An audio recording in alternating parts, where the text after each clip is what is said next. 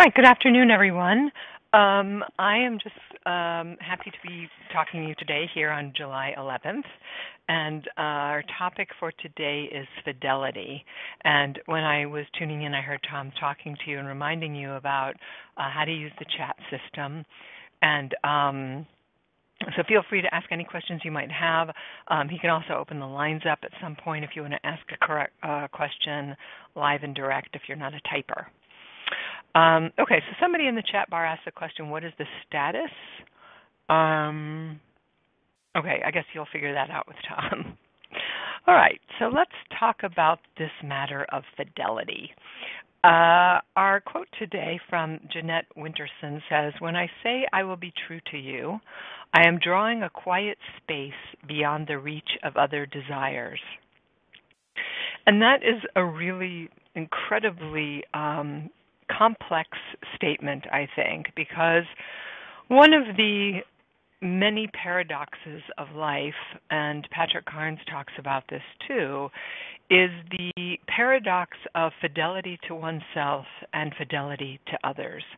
And how do we maintain both of those? And I think in this quotation, she's saying, I'm true to you. I have to read beyond my other desires um, to stay true to you.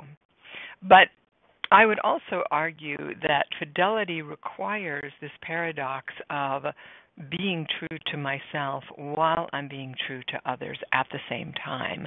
And that is a tension that we have to negotiate all the time. And I think more often in this incredibly busy world that we live in than ever. So let's hold that notion um, as we move along here. So we often think about fidelity as being true to another person. And we locate that person, obviously, that commitment outside of myself. So I'm going to be faithful, let's say, relationally to you or another person. Um, I'm going to be faithful to my commitment at work so that I show up for my job on time. I end on time. Um, I do my work in the way that my employer expects me to. Um, I'm faithful to my, perhaps my parents in terms of being a good daughter or a good son, and to my children, um, whether it's to be a good aunt or mother or whatever your role is with somebody else or uncle. Um, but how do we stay in this second point, which is the true meaning of fidelity, which is the devotion to ourself. And again, I think this is complicated because so much of devotion to self has been redefined as a profound narcissism in our culture. That everything I do is about me, and I have my rights to be who I want to be, and I can be everything there is, and it all circles around me, me, me. And that's not what I think the true notion of fidelity is about when we talk about a devotion to ourselves. Um, when I'm faithful, or when you are faithful um, to yourself, then you can be faithful to other people, other commitments around you. And therein lies the paradox of being uh, faithful to myself and to other people at the same time. How do I do both of those? So consider that being faithful to a person, a cause, or a belief means a commitment to your own integrity and to your own values. Uh, so oftentimes we think, well, if I'm faithful to the other person, that's a burden to me. Um, or if I'm faithful to that thing or that cause, I can't be to another one also. So I'm really feel strained or I feel pulled apart. So it really shouldn't be an external obligation. It should be guided by your internal sense of integrity and what's right and wrong, your internal, internal sense of uh, what your value system is, and how you put all that together. So honoring your own principles is really the only way to stay loyal to another person. Because when we break our vows to someone, we're really disavowing ourselves if I have a vow of monogamy to my partner and I cheat on that person, then I'm really cheating myself ultimately. I'm the one who's going to be ground down at the end of that. And there's a saying in Alcoholics Anonymous about you know drinking your own poison to get back at someone else. And i think that comes from experiences that probably everybody had in high school or in college where you know somebody broke up with you and you were hurt or pained so you went and acted out to get back at that person. So you drank too much or you had sex with somebody you didn't really like. But you know the point is who are you really hurting at the end of the day? That other person may never know about your antics or if they know about them, they may perceive you as being weak or a little bit crazy or not someone who is stable, and that's why they broke up with you to begin with. So you're really not doing yourself or the other person any favors or getting any message across. So, how do you completely stay faithful to yourself in the decisions that you make. And that can be challenging because if I want to go do something and there are opposing agendas which say, you know, a partner, a child, a parent, and that everybody's going to get what they want or need, I have to determine what's going to be in my best interest and everybody else's best interest also. So if you have, let's say, an aging parent, and um, or a parent who's not feeling well and you're an adult and you have a decent relationship with them, but it's July 4th weekend and you've made all these great plans to go have a good time and maybe have a party a little bit, and that person gets sick, what do you do? Do you stay steadfastly faithful to your plans and what's good for you? Or are you faithful to that person because they're in need? And that really depends on your sense of integrity and your value system. And in that also can be a big or thin slice, depending on who you are, of codependency. So maybe the person isn't that sick or infirmed and they really can manage with you, without you. Um, you really want to go follow through with your plans, but your codependence doesn't let you. That is not being faithful to yourself um, it's being faithful to the other, but not for the right reasons. Or let's say conversely, the person in your life is very ill or very infirmed, and they really need somebody to make sure that they don't get too high of a fever, or they need someone to go get them juice and soup. Um, and they're seriously sick, but you selfishly really want to go to the beach that July 4th weekend. Um, you've got to weigh out what's true there and what isn't. And going through with your plans anyway may be an act of self centeredness and lack of compassion. Um, and sometimes it might be a matter of codependence. But that's for you to decide based on what your values are and whether you're in your integrity or out of your integrity. So think about fidelity again as um, being about a devotion to your own self. I'm curious if anybody has any thoughts or questions about that at this juncture.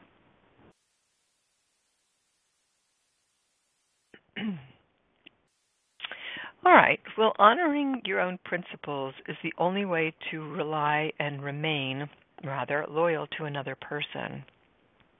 Because when we break our vows to someone, as I said earlier, we're disavowing ourselves. So when you're dating somebody, or if you've been in a relationship with someone and you haven't had this conversation, let's just say when you're dating somebody, you should let someone know what your principles are, what you value, what has meaning to you, and where you draw the line with certain things. And you don't necessarily have to give a speech about this. It will come up in the dating process when you have a date and then it's you you know, it's Father's Day and it's like, "Oops, I made a date on Father's Day. I really want to be with my dad. I've got to tell you that I really like you a lot, but I actually love my dad add more. you might not say that, but that's the message because this is a value that I have. This is one of my principles. This is my integrity. So these things will play out and you'll have to negotiate them along the way. And that's a part of being intimate and honest and real. You're also setting the stage for how this relationship or how you need a relationship to go down the road. If you've been in a long term committed relationship and you haven't revisited your value system, or perhaps they've changed along the way, then it's worth talking to your spouse about. Sometimes as we age and we get older, um, our value systems change. When we you know i remember many years ago when i would go into a department store um and i would go with a girlfriend we were always headed to the clothing department. We were always looking at clothes because it was always about well what are we going to wear this weekend um or shoes or something of that nature. And i was with my closest friend once and i think at that time we had both were around 30 years old. And we went into a department store and we wanted to go to the home store. We wanted to look at sheets and towels um and cookware and it really struck me that I had entered a different phase of my life, that the things that once mattered most mattered less. Nesting things were more intriguing and interesting to me. So, likewise, as we age, the things that were most previously interesting, even with our partners, may change because we may become more family centric or friend centric, where the thing that matters the most to us is our relationship with people, not even necessarily having the adventures we once were devoted to having. So make sure you are constantly looking at what your own value system is, what has you in and out of your integrity, and then communicating that to the people around yourself. Um, somebody writes, "What what the best approach in healing when you are codependency loyal to people who are narcissistic and take advantage. I think that's what is the best approach. Okay. And how do you begin being loyal to yourself? What's the first step to pushing through the childhood guilt of enmeshment? Well, I think for starters, it's really useful to read some of the premier books on codependence, namely um, Facing Codependence um, by Pia Mellody and Codependent No More by Melody Beattie. These are two classics in the field of codependence. And Melody Beattie's book, The Language of Letting Go, which is a daily book of meditations for codependence, I think is enormously helpful because every day there's a theme and every day there's a meditation and an encouragement to stand strong and express yourself and do what's true for you. And looking at also the cost benefit analysis of what codependence brings you. Um, because there are definitely secondary gains from uh, making sure everybody likes you, um, being the center of attention, doing everything so you can get the validation and love you need. Um, there's also a cost to that, which is it can be enormously exhausting um, you become needless and wantless. Other people trample over you.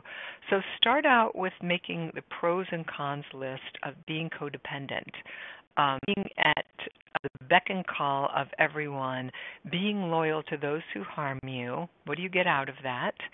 Um, and then how do you become a victimizer yourself from the position of being the doormat? Now, I, I know these are harsh sounding words, but we have a tendency to coddle people in our culture um, who look like the victims, who look like they're being harmed, who look like they're being used. And I know that victims will also use that position to retaliate, to get back at. So it's a very passive position and one that you want to question heartily in order to get out of it.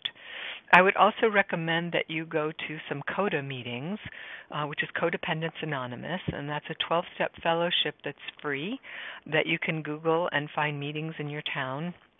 My guess is they may also have meetings online, so um, I recommend that you check that out as well. Uh, says that California and uh, tied up with marriage, rebuild my, uh, my house uh, burnt in a fire. Um, torn as back in Melbourne, Australia. My parents are in their late 80s and failing. What are your thoughts? So I can't tell from what you're saying, Julie, if you're in a marriage that you don't want to be in. Um, it sounds like your house burnt down and you had to rebuild it, and you're torn about whether you should go back to Melbourne or not. Um, I don't have enough information to answer that question for you, but I do suggest that you um, seriously take a look at again what are the pros and cons of staying in the states.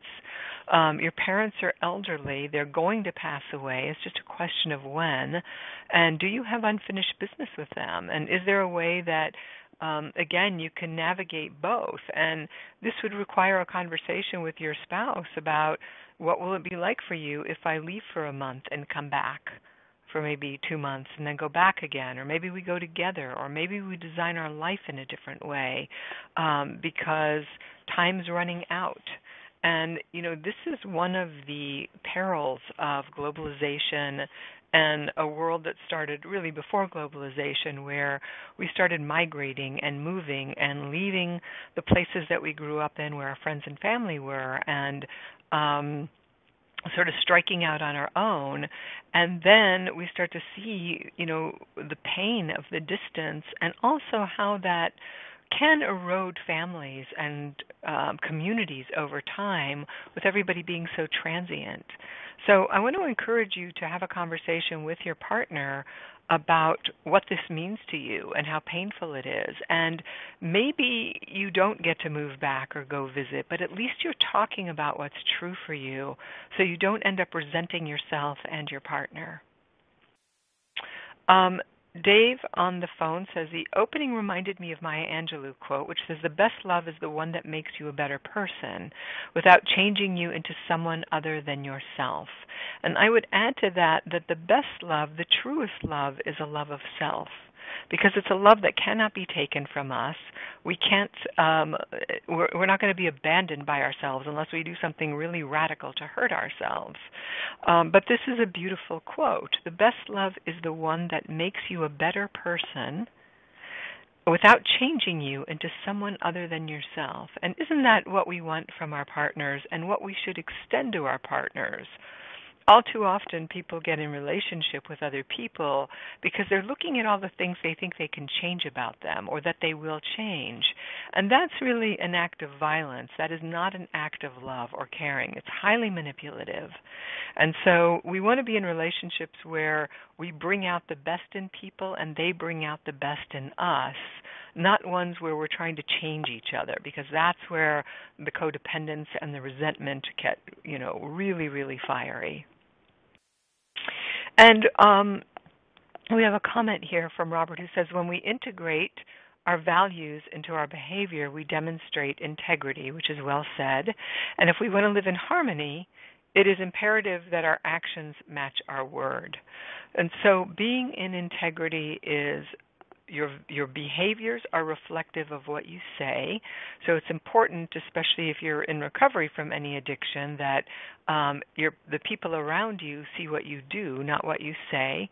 They see that you're really showing up in your integrity, and that you um, your actions match what you're saying, which is pretty much the same thing that I am saying. And James says, Do you think seeking approval from others is the biggest obstacle when it comes to fidelity to self and others? And how do we approve of ourselves enough so that we don't need other people to do it for us? Well, this is another paradox because we all need validation from other people. We all want to be seen, heard, and understood. And children certainly need that probably more than anything. Um, really, really a sense that we matter, that we're appreciated, um, that people are curious about what our experiences are, how it's going for us.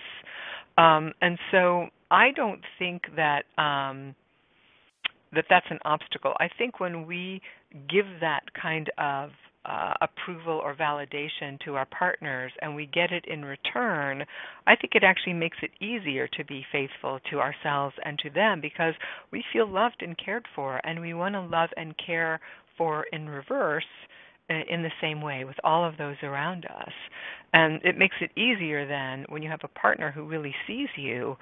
Um, if you want to go do something they don't want to do, they they understand it because you've been honest about who you are. And how do we approve of ourselves enough so that we don't need others to do it for us? Well, I think that's a daily practice of self love, of self affirmation. It also has to do with engaging in behaviors and activities that make us feel solid internally, that make us feel good about ourselves, that make us feel like we're living in integrity. So you kind of know that feeling in your chest and in your heart and in your gut when you um, feel joy or lightness internally, um, then you have sort of a self approving system. And that doesn't mean there aren't moments when we feel needy, when we feel we want someone else to tell us that we're doing a good job or that we matter or that um, what we're doing has some consequence in the world. So again, that's another paradox that we have to hold is validation of the self while also requesting validation from others and knowing where the line is between using other people to prop yourself up versus not needing anybody at all because you've got it all figured out. There's a lot of gray areas in that. Um, okay, the practice of fidelity. Constancy in a relationship requires discipline, and that means you do what you say, your actions follow your words, um, that your partner doesn't have that horrible feeling that we hear that uh, people say, well, you know, when I married this person, they became a completely different person. That's a nightmare and nobody should have that experience and we shouldn't perpetrate that experience on other people. You need to be congruent with who you are. That's a way of being faithful to yourself and faithful to others and that requires a discipline. Um, if you say you're an honest person then your actions have to reflect that and you might have to go the distance to make that happen. Um, if you're someone who considers yourself a good citizen, that requires a lot of discipline. And I'll tell you, in the simplest ways, the one that we can all relate to is when you go to the grocery store. Um, and you're finished packing your car, and the cart is sitting there. What do you do with it? Do you walk it back to where the carts are, um, so that the carts are orderly, so there are carts for other people, so the poor person that's got to run around the lot gathering the carts doesn't have to gather one more. Um, and also so you don't leave it between cars where somebody scratches their car or bumps their bumper. Um, or do you leave it in a place that's safe enough that it's not going to roll and smash into anything or scratch anybody's car? You know, how do you make those judgments on any given day? You know, on the days when I'm in a, in the biggest hurry, I grapple with that in that moment and saying, wow, what am I going to do here? Am I just going to jam this between two cars or am I going to walk all the way back and put it away and it's hot and um and these can be internal conversations all the time and there are lots of examples of that. So how disciplined are you in your constancy in terms of your behaviors reflecting who you think you are and who you say you are? And if there's an agreement to stay faithful from the beginning, discipline will sustain us over life's rocky crags, but only if fidelity remains our guiding principle. And so there you have it. Um, in those moments when you have to make those little decisions and even big ones, if you come back to what your agreements were, what you said you were going to do, and you stick with that, then your compass is really pointed in the right direction. And wavering from that um, will create problems for you ultimately. And we have a tendency as human beings to want to blame other people for why things don't go well. But when we really look at why things aren't going well in a relationship, it can often be because we have not been clear um, about the way things should have gone, or we've not been fair, or not um, we're not in our integrity. Think of someone who needs your help and what gesture can you make to be faithful to that relationship today? What will it actually cost you um, to call an elderly parent?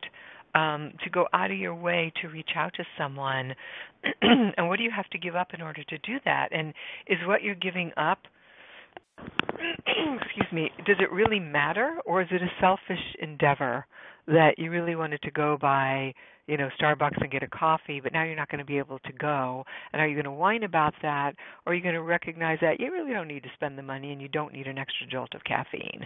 And in fact, doing this other thing is more important to you. So think about that.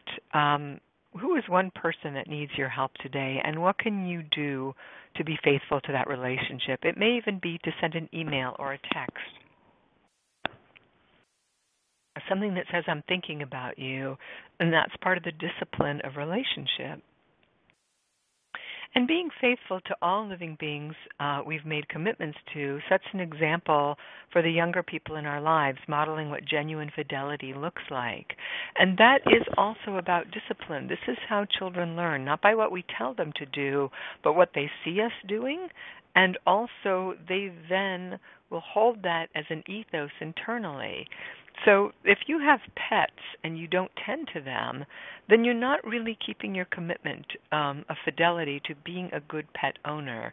And that means making sure they have food and water before you leave, uh, making sure that they're brushed and tended to, and that they get their shots, and that you really are treating them um, with the dignity they deserve to be happy and to flourish and to keep you happy because that's why we all have pets anyway because they make us feel good they actually change our brain waves it turns out so um, and what that models to the children around you is that when we make a commitment to another living creature, we keep it. And it's not a commitment that we should take easy or lightly. Having a pet doesn't mean it's just in the house, it means you've got to work for that creature. You have to tend to that creature. Um, otherwise, you're negligent, and that can become traumatizing to everybody.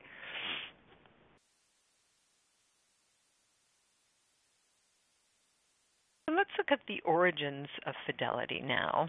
Um, I think we have another question here from the phone. How does someone navigate the pain and challenges after a long term relationship dissolves late in life due to infidelity? Boy, that is such a big, big, and painful question, and one that is um, so difficult to answer because it's so different for everybody. Um, when we lose a partner, whether it's after five years or 15 years or 25 years, it's an incredibly painful loss because our attachment systems bind to that other person.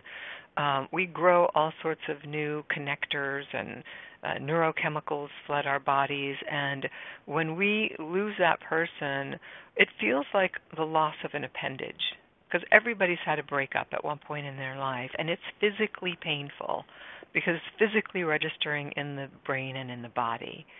And what it takes for us to rebuild our sense of self, our sense of security, our sense of identity independently of that person is extraordinarily difficult and requires a high level of discipline if anybody's ever had to do it before. And so this is where the requirement of getting to know the self, I think, is paramount. And that means finding out what you like, what you don't like, getting out into the world, whether it be taking classes, finding a spiritual practice, engaging with other human beings, going for walks on the beach or hiking, joining clubs, um, really trying on a bunch of different things so we can start to notice what's difficult for us, what challenges us, what we do and don't like independently of that person. And we start to meet other people that make us feel good about ourselves because typically when relationships end, we're not feeling very good about ourselves anyway. And even when we know it's not good and it's over, um, we have a tendency to hold on longer than we should because we're afraid and it's painful. So I would invite you to have a lot of self compassion, to really give yourself a break, to take it slowly, and to slowly start to wade into the waters of the world. And that's not about dating either. That's about just getting to know yourself. And summer is, I think, an extraordinary time for that because the days are longer. Um, there are more opportunities to go outside and be out in the world more freely, and really take this time to explore, to see if you can reinvigorate a sense of play also for whatever that means to you. Um, and I think this answers your question. Our very self is tied to other people because from the beginning, from the time we're infants, without another person to reflect to us and to help our brains start to develop appropriately, we will um, we will not flourish and ultimately will die. Um, there's a failure to thrive in infants. We require other human beings in order to come to fruition and in order to function. And at the same time, we're highly autonomous beings. So we can't really do without other people. It's very isolating. It's not good for the nervous system. It's not good for the immune system. And so you have to reach out and start to make other relationships when you lose one. And so, even with that, um, we talk about musical recordings where fidelity is pristine when it's the replication of the original. So being true to another means upholding our original intention. But our ideas about fidelity may be tarnished by the role models we grew up in, um, who maybe uh, gave us a poor representation of what real fidelity meant. They may be tarnished because we've um, been cheated on and we've lost relationships, or maybe we did the cheating. So, all of these things um, are ways of looking at this concept of fidelity and how we want to maintain our intention to be pristine, to be true to ourselves, and therefore true to others, but we might be battling representations um, from the past that make it more difficult for us. And because of a lack of good role models, um, all the sacrifices we make for the benefits of staying true to ourselves um, can fall short because we can't see all of the components that go into fidelity.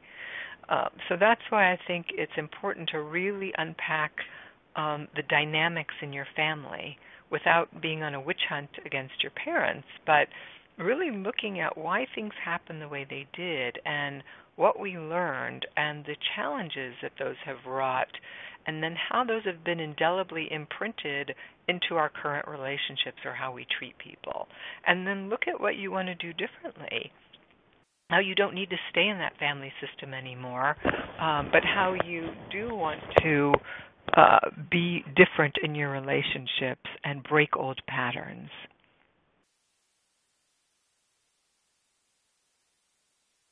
And remember again that all living relationships require fidelity, even with a plant.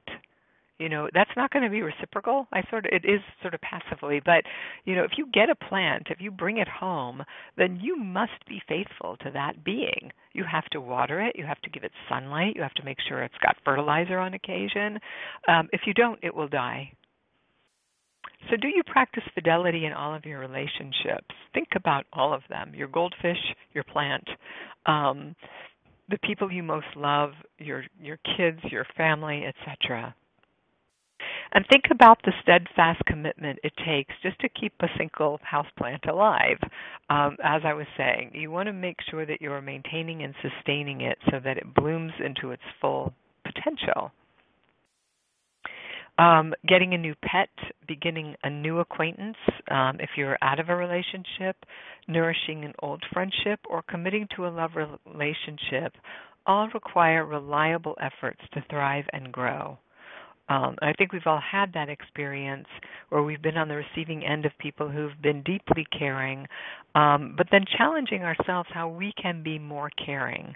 Um, I think it's easy to lose sight of being caring in the simplest of ways when we're all so busy and beleaguered by the demands of the world we live in. So, as I said earlier, can you send a text? Can you send somebody a photo today or a phone call if they're elderly and they don't participate in, you know, the world of computers? Um, can you just reach out to an old friend and say, you know, sorry I haven't seen you in a long time, but I'm thinking about you? Because without that, the threads start to turn into shreds, and then, you know, people drift away, and before we know it, we're alone and often lonely. And have you been unfaithful to the commitments you've made? Of course, the biggest one is when we are unfaithful sexually in monogamous um, what our partners think are committed relationships. That's the most egregious breach of commitment because of the unbelievable pain it causes the person who's on the receiving end of the betrayal. Um, it reorganizes people in a way where they no, no longer trust um, love relationships. Um, they feel like the world just isn't a safe place. They feel like their reality skewed and that they can't believe anything around them any longer because what they thought was true was not true ever. And so that kind of lack of faithfulness um, is profoundly damaging to the person on the receiving end of it, and it's also damaging to the person who treats themselves that way. That requires a high level of compartmentalization um, and dissociation. So take a look at the ways that you've been unfaithful to yourself and to others. And make a list of how you can rectify what is out of alignment with yourself and take action on each item one by one. So, where are the ways you're not faithful? You could not be faithful to your nutrition. You could tell yourself that you're eating healthfully, but maybe you notice that you've kind of not been eating so well in the last month. And how do you rectify that? And um, if you're not eating well, maybe the people around you aren't eating well if you're the person that provides food or cooking. So take a look at all the ways that you're out of alignment. Another way might be exercise, that you uh, tell yourself that you're fit or that you're going to work out, uh, but you're not really getting it together to do that. And so you're being unfaithful to yourself. And then maybe your partner starts to put on weight and you get judgmental of that person. Meanwhile, you're not a shining example of that yourself. So you don't really get to be judgmental if you're guilty of it too. So look for places where there is hypocrisy in your life, where fidelity is concerned. So, does anybody have any questions about any of that?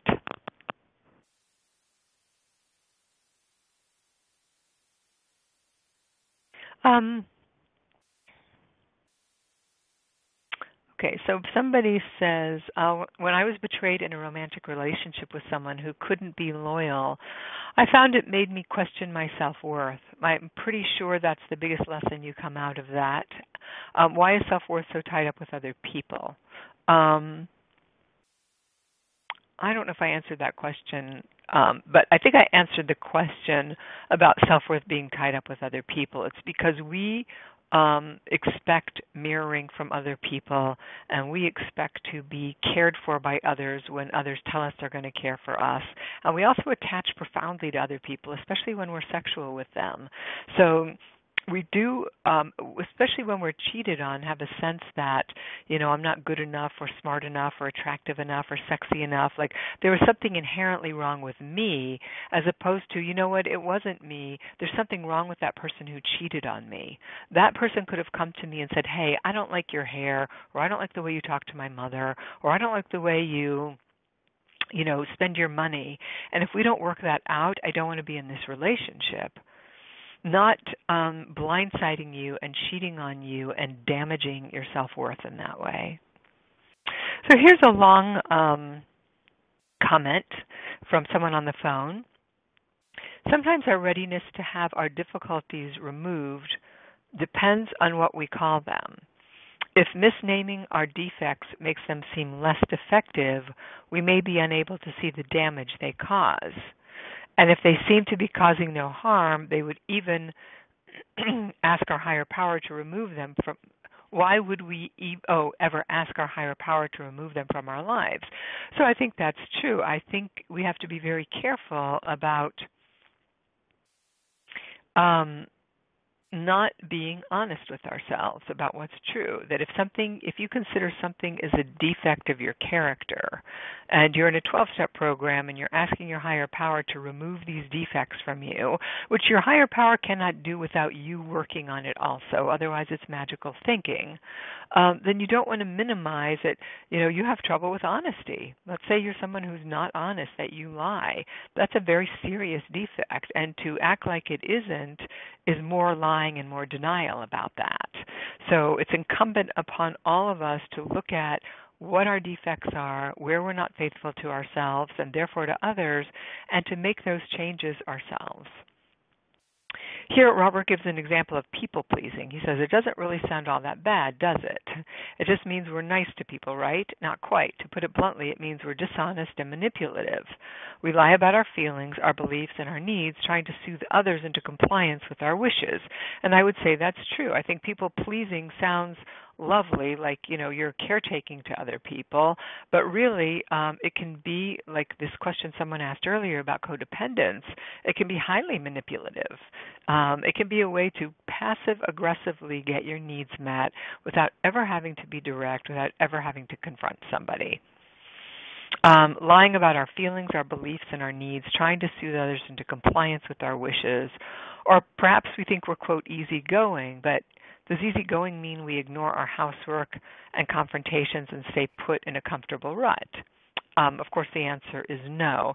That's not really easygoing. That sounds more like um, a form of passive aggressive laziness to me. And then a better name for it would be laziness or procrastination or fear. Thus, if we want to live in integrity, we need to say what we mean, mean what we say, and not say it mean. So, all of that is true and useful.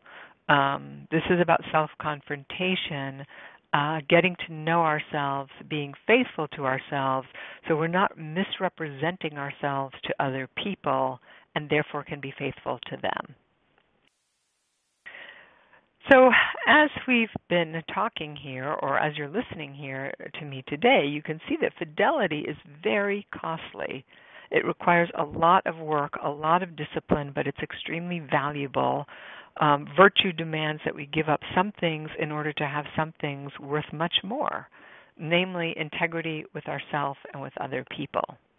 So, think about all of these um, qualities like fidelity, virtue, integrity, these are not just words. These require incredible actions, a sense of vigilance, a sense of self confrontation on a daily basis to make sure that we are properly aligned when we make decisions, no matter what they are. So, um, when you walk out the door and you shut the door before you walk out of your house, you should ask yourself, have I really tended to everything I agreed I was going to tend to today? Was I lazy because I didn't leave a window open and it's going to be really hot today and my cat's in there alone? Um, go back and open the window. Do what you need to do so that you're taking care of yourself and you're in alignment um, with the person that you want to be and that you're faithful. So, any other questions before I wrap up this conversation on fidelity?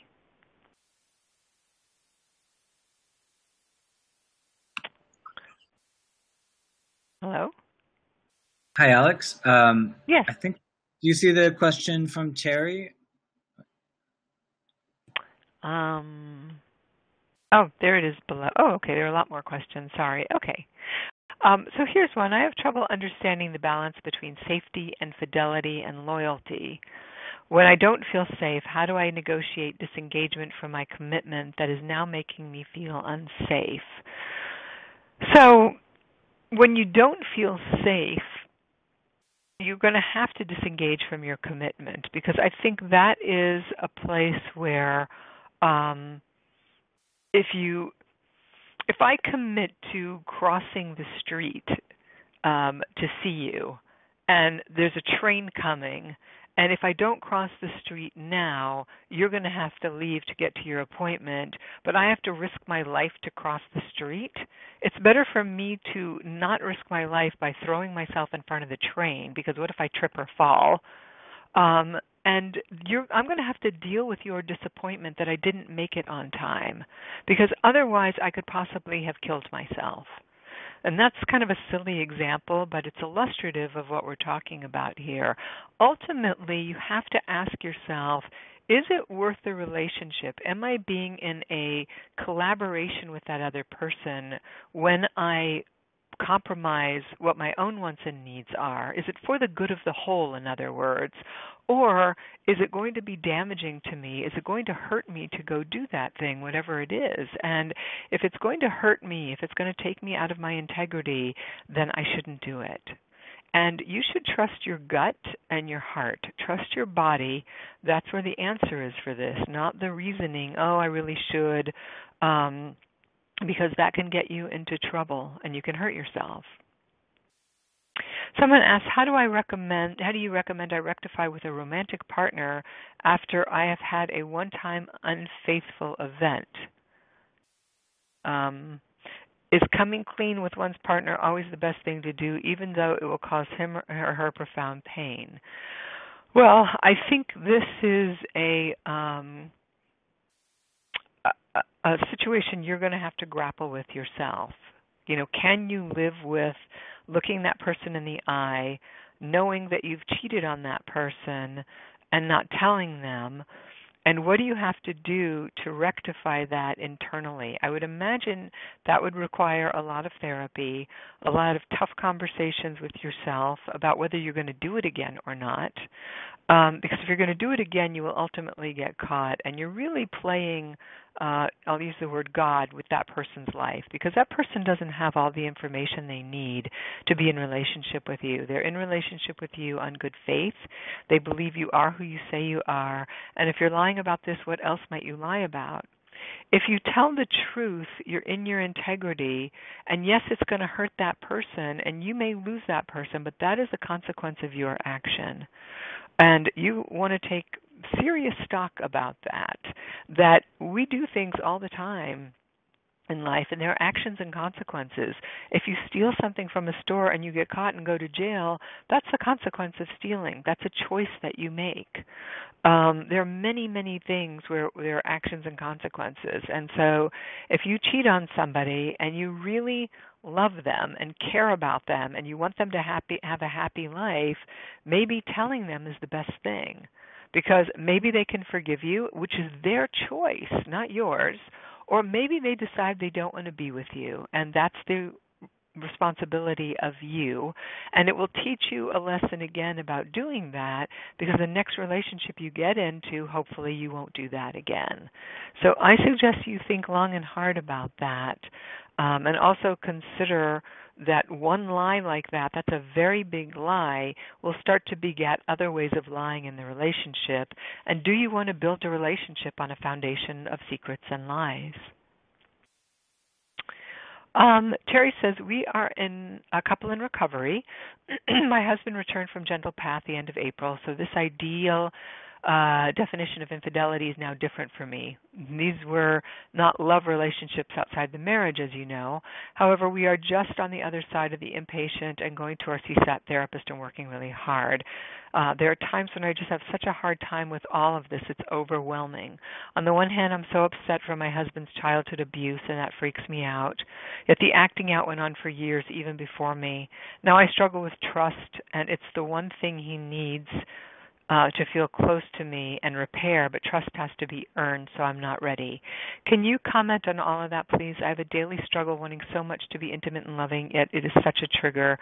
Well, this is such an unbelievably difficult point to negotiate, Terry, because I really believe that the partners of sex addicts are the ones who are betting the farm, because there's no guarantee that it won't happen again.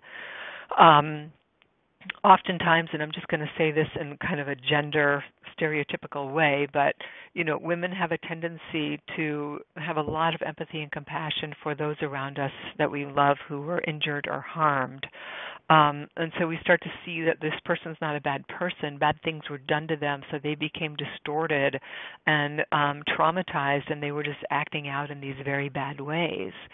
But how do you start to trust this process? And the answer really is just time. You know, there's an adage of no major changes for a year, and so people are encouraged to really focus on what they want. I would encourage you to think about what kind of life you want to have and maybe it would be useful for you to make a collage and uh, create a vision board of the kind of life you want to have that has pictures and colors and feeling states in it. And as this recovery progresses are you seeing more and more of that kind of life or are you seeing something different? Um, and is this person that you're with someone who can walk side by side with you to help co create that life, or are they going to have their attention someplace else? There's a lot of pressure in the sex addiction recovery community for partners to stay in relationships. And I believe this was um, sort of a knee jerk reaction to um, therapists who weren't sex addiction therapists many, many years ago, and even today, that would encourage partners of sex addicts to leave immediately. That if somebody had been that unfaithful, you should just run and hide. And those therapists weren't sensitive to the complexities of you know what it means to dismantle a home, a family, a life, bank accounts, all of it that goes with divorcing. They were just looking at the data and saying this does not look good. Um, you know, someone writes a question: Is a chronic infidelity able to be cured? You know, there are people that say no, and other people that say yes. So it depends on the person and the circumstances. So you need to look at all of that and be rigorously honest with yourself about what do you want and is this a person who can give it to you and can you watch and wait to see if it's a person who can do it with you. Um, you know, one month is not enough time, six months is not enough time. A year, two years, you'll start to see whether this person is really making concerted efforts and really changing their very character or if they're not. And if they're not, that gives you your answer. And even with that, it can be an incredibly difficult decision to make. But I want to encourage you to really take your time, to not rush um, into any kind of, you know, over trusting or physical contact or forgiveness that these things take time and they take the time that you need um, to figure it out but try not to do it passively go do some workshops yourself um, join groups yourself get into your own therapy find active ways for answering these questions for you because all too often i watch partners sort of sit and wait and that sitting and waiting is passive, and time goes on, and we get older with every passing day, month, and year. So don't delay. Do as much work as you can for yourself. Um, Maggie says, Thank you, Alex. I don't feel safe with my sex addict. He has broken two boundaries. He can be manipulative and say he's not perfect, which is true, but it all comes back to me and my values. It's taken me out of my integrity, and I can't have a marriage when abstinent is not consistent in his recovery. I've been there, Terry. It's a nightmare. We need healing and to be loving to ourselves. And that's right, Maggie. And if that means that it's time for you to leave this marriage, then you build a uh, fortress of support around yourself with friends, family members, support groups, and you know trust that you can move on, that you'll be okay. Um, and in fact, I think all of us have the experience of staying in something too long, whether it was a relationship or a job or an exercise class or what have you. And when we finally get out of it, we think, oh my gosh, why was I waiting so long? What kept me there for so long? So don't delay. Your life is on now. Either move forward into recovery or get off the bus and go do something different. Life is much too short for that. All right. So thank you all for your participation today. This was a lively conversation. It's a tough conversation. But if I can just bring it back around, I want to remind you first and foremost, be faithful to yourself. Be faithful to the people you love, and then look at and deal with the tension of holding that paradox because it's never easy, but it's a constant way for us to grow and learn about our own selves. All right. Thank you again for all of your support of Mirror of Intimacy, which you can find on Amazon.com. And I look forward to seeing you and talking to you in August. Bye bye.